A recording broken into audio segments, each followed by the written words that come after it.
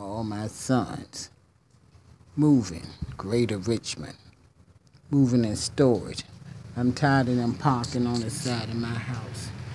Truck number 68.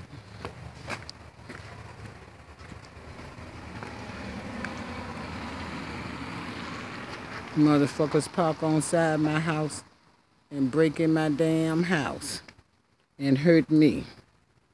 They don't give a fuck, neither do I.